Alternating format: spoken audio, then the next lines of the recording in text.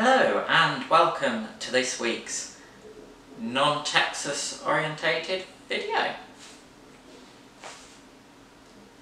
Although it does involve a lot about Texas.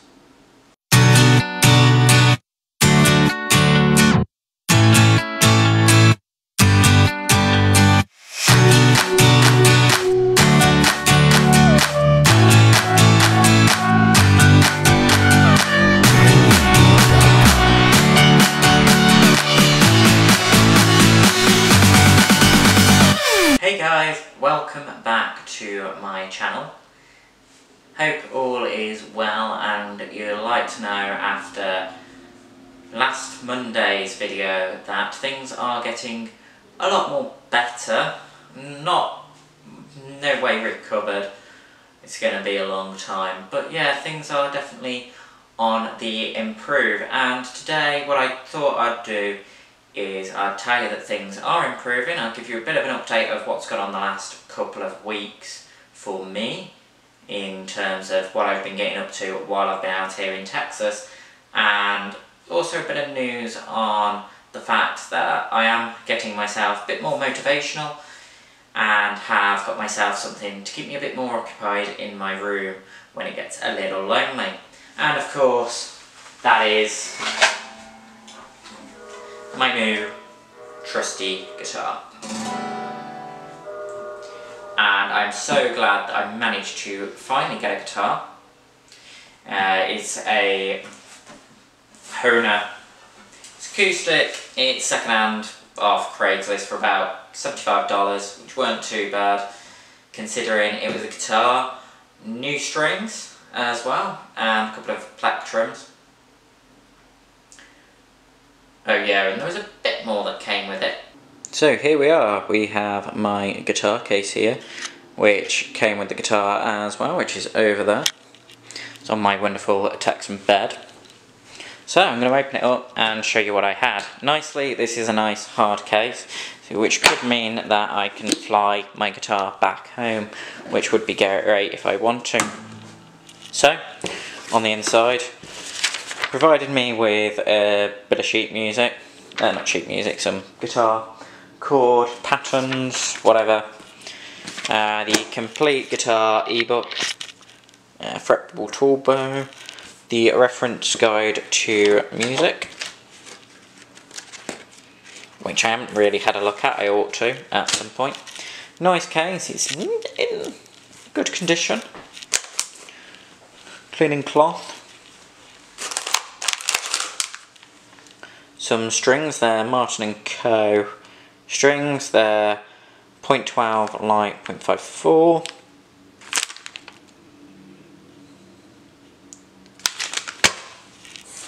And these ones are custom lights, which are 0.11, 0.52.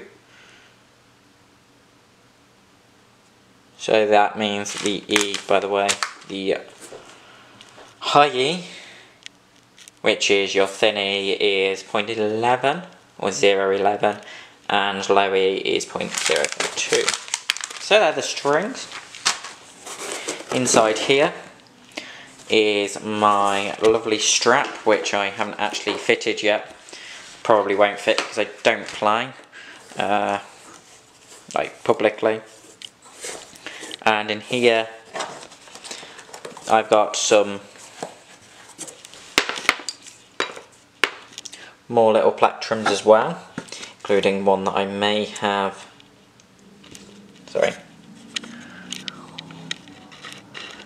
I can focus, one which I may have robbed from the local guitar centre in Houston, but whoops. So yeah, that's my guitar case. Oh, and I also, over here, got a wonderful little guitar stand as well and to go with my guitar stand I could have had a music stand which I probably should have taken because I've got a friend that could have done with one. I didn't need it but then I feel bad because I didn't really need it so why should I have taken that from somebody else when they can sell it on? But you never mind. Anyway that's this. So straight back to the video.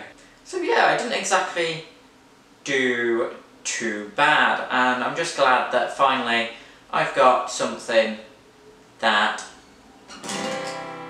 I can do in my room so that I've got something that will keep me a bit more motivated and give me something to do because I haven't got my modelling stuff. And yeah, sometimes it gets a little boring especially when you've done a load of work and you just need something to relax and take your mind off things. So I'm glad I've gone and got my brand new guitar. Secondly, what I'm going to talk about is some stuff I've ordered off Amazon to go with this lovely baby.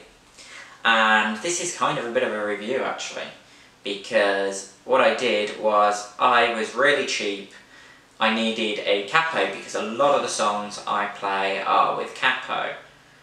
And I decided, in case anything goes wrong with this guitar as well, because there are a couple of issues, like I've got a problem with the action the action is way too high. Thanks computer. The action is way too high on this guitar. So I've decided that I need to do a couple of adjustments to it. So I bought myself this wonderful little kit, which I'm going to explain to you now. It's from Jetex, Jetec. Uh, it's a 41 piece guitar string set. It was around 14, I think $15. It's not great, but to be honest, I would recommend this for a student because, especially if you can't afford things, maybe you're starting out, or you're like me and you're starting off in a new location where you're probably not going to take a lot of this stuff back. So it's not really worth paying a load of money for something that you're going to get rid of at the end of the year. That's why I got this, and there's some things that I want to discuss about it. I'll just give you a show of what's inside and what comes with the kit, because, you know, be interested. And I ought to leave a review on Amazon as well for it. So I open it up, it's the first time I've ordered on Prime, and that was interesting because it took a few days to arrive more than expected. So I've actually got 12 lots of bridge pins. So I have my white set, which don't think actually fit this guitar. They might. I, I don't know whether they fit. They probably do. I'm hoping they do, but if they don't, they don't. They might put my guitar at home. One needs a new bridge pin. Probably cheap, but who cares? That's not why I bought it for. Got some plectrums, uh, there's nine actually in this pack, and I prefer quite sturdy plectrums. I've got these Dunlop, which are 0.73 millimeter plectrums, which I am not so keen on, which came with the guitar. These are probably 0.8, so there ain't much difference, but you can see actually they're a lot thicker. They're a lot more sturdy than these. These have got some good give, but for an acoustic I prefer ones that are a bit more tough. But that's that's just me. The capo, it's not the best, but it's certainly not bad. Uh, if I put the capo on the guitar,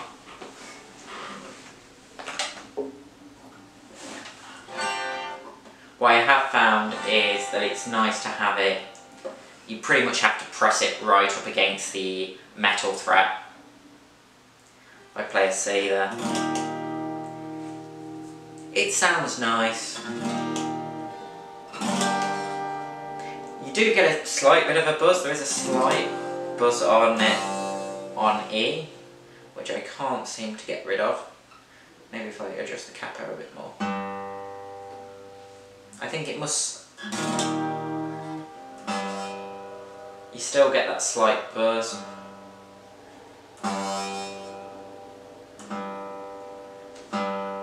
If you adjust it so that it's literally over the fret there, so it's at a slight angle, unless you're playing maybe an F, that sounds really bad. But if you're playing an F, then maybe it will cause a little issue. But generally, it's okay for the money. And you can see the plectrum does sound rather nice. Winder, cutter and bridge pin tool. Useful. Like I say, I wanted this just in case I do have any problems with the guitar. I didn't want to spend loads of money because I may not need it over here and I've got stuff like that at home. And finally, three lots of strings, so those ones look not too bad. Same with these, but multicoloured guitar strings, which, to be fair, I may fit as a practical joke. I don't know what they'll be like, they're probably not great. They're not exactly great colours either, but I guess they'd be good for somebody that's learning guitar on steel string, which I wouldn't recommend anyway, I'd recommend nylon to learn guitar. But you know, that's just me. So yeah. So then, I'll discuss a couple of things that have happened the last couple of days. So today it is Monday the 12th of November. Uh, today I have had a law lecture by some people that came from my home university in Swansea, which was really nice. Finally to see some familiar faces, some familiar accents, and they brought the weather with them. Not so great, but you know, what else has happened? Uh, Friday was a good day. I went segwaying in downtown Houston. Did the Buffalo Bayou. Uh, interesting, some interesting information, some interesting sights. Definitely recommend doing it and I'm going to probably do some sort of walking around downtown when the weather gets nicer because I would really like to show that off to you guys and I think it'd be a nice experience of Texas and an experience of Houston, a bit of a travel thing as well as just for me, just for memories. Well as that, I have been to the homecoming game.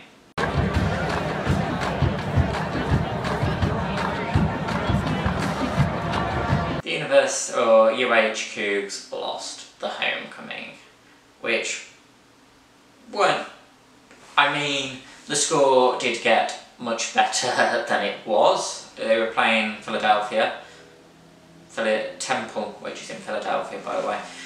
Uh, yeah, it weren't great, but like I say, I've got some clips of that, especially because I am amazed by the marching band they have here at the university and apparently they have uh, many events across Texas and the United States.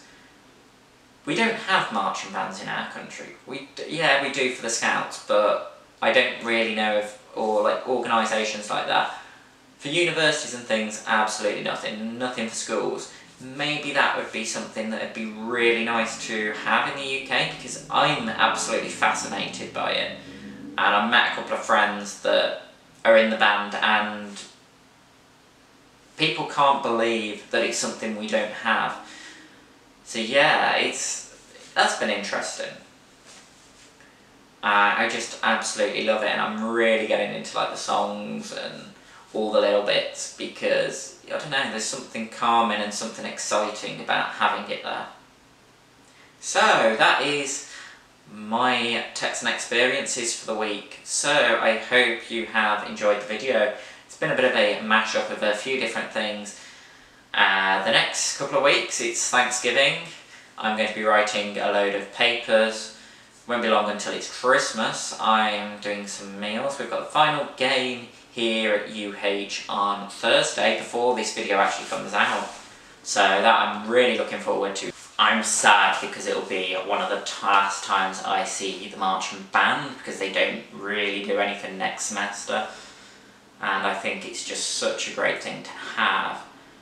So yeah, anyway, I hope you have enjoyed this video. and I hope there'll be some more Texan Experience videos coming up soon. If you have, make sure you give me a big like down below because it really does help. It keeps me motivated to make more videos and it's really hard to get motivation sometimes, especially at the moment because of what I've been through the last week, week and a half. Uh, so that would be really appreciated. If you want to subscribe because you're new to the channel, please make sure you do. There's plenty more content that are on my videos, so please check them out. It really does help. Leave a comment down below and you can follow me on both Twitter and Snapchat. I've been on Snapchat a bit more than I have Twitter recently. Uh, that will probably be winding down because I'm still keeping away from social media really at the moment. Uh, I'm talking to people, I have been putting a couple of things on Snapchat. It's been quite busy the last couple of days, but that'll be going off soon again. Yeah, it really does help. Like I say, subscribe if you haven't done so already, and hopefully I will see you with a new video in the next couple of weeks. So look out for that, and I'll see you very soon. Goodbye.